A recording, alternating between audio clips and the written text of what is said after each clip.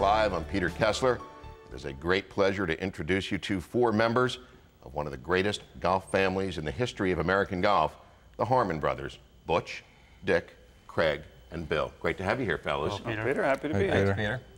Peter. I've spent a lot of time with Butch, and when we're together, he suggests that when he was a kid and a student, that his nickname was the one-man think tank, and that Harvard was looking for him when he was in high school.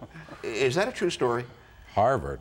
that must have been Officer Harvard in Mamaroneck. in The Mamaroneck. officer. Yeah, in Mamaroneck. You know, Peter, the uh, funniest story we have about Butch is his uh, education is Butch, as we all know, is one of the game's great players as a junior player. He got a four-year scholarship to the University of Houston, I believe, in 1960.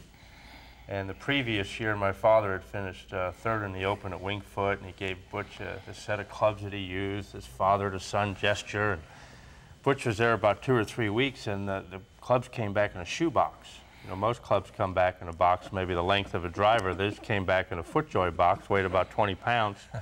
So Dad got him reshafted, sent him back to Butch, and uh, oh, two or three weeks later, Dad got a call, and Butch was calling from Palm Springs, California.